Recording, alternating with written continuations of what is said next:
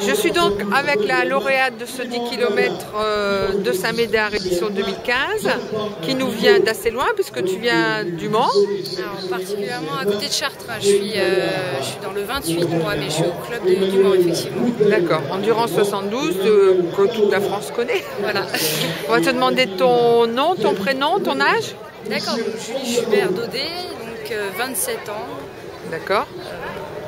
Que je fais dans la vie, je suis Oh, professeur oui, des écoles, euh, au club d'endurance 112 depuis 3 ans, euh, spécialiste euh, normalement du, du cross, mais un petit peu compliqué cette année puisque j'ai fait la saison avec une grippe, donc j'ai eu du mal à m'en remettre. Là, je m'en remets euh, tout juste, j'ai un peu de mal à retrouver des sensations. Tu étais au France quand même la semaine Voilà, dernière j'étais au France pour faire la cinquième de l'équipe puisqu'on a fait championne de France par équipe la semaine dernière. Et puis après, bah, là, je vais enchaîner sur ma saison euh, de duathlon euh, sous les couleurs d'ici les Moulineaux. D'accord. Et alors pourquoi euh, le 10 km de Saint-Médard?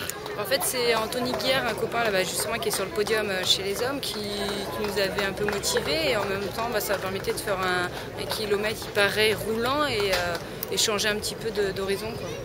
D'accord. Donc tu seras aux France de 10 j'imagine Voilà, avec Dans un peu plus d'un mois voilà. avec l'équipe d'endurance. Et vous étiez combien du club aujourd'hui? Euh, bah, on était que deux, euh, moi et mon mari. D'accord.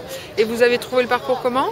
Bah, roulant, alors moi j'étais un petit peu esselée sur les premiers kilomètres, donc euh, euh, 3-4, il y avait un petit peu de vent, donc euh, heureusement, que, heureusement que c'était les premiers kilomètres, et puis après non c'est roulant, c'est très sympa, il y a du monde sur le parcours, j'avais peur qu'en une on soit un peu esselé, Oui.